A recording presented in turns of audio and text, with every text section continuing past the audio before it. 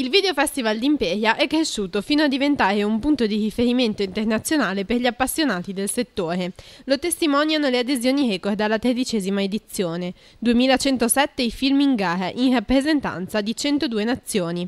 Eppure l'edizione di quest'anno potrà andare in porto solo grazie al contributo che i cittadini stanno elargendo tramite la raccolta fondi promossa da Cristina Tealdi e portata avanti su Facebook e presso un'edicola di Via Cascione. Il contributo che il comune ha sempre stanziato, infatti, quest'anno non è stato ancora deliberato. La cosa ha provocato non pochi problemi, naturalmente, ma il direttore artistico Fiorenzo Runco e i suoi collaboratori non hanno mollato. Sia il presidente del Video Festival, l'attore Remo Girone, che il direttore artistico sono stati chiamati alla direzione di una nuova manifestazione di cinema che andrà in scena nella città di Baku, in Azerbaijan, a settembre.